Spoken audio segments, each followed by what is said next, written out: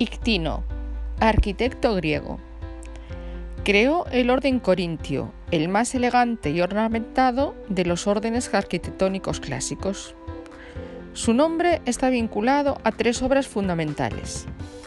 El Partenón en Atenas, Grecia, el Telesterión de Eleusis y el Templo de Apolo en Figalia.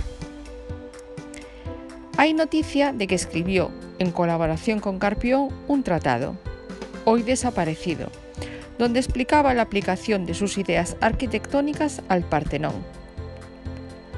Sabemos muy poco sobre la vida de Ictino. La mayor parte de la información de su tiempo se basa en los escritos de Plutarco.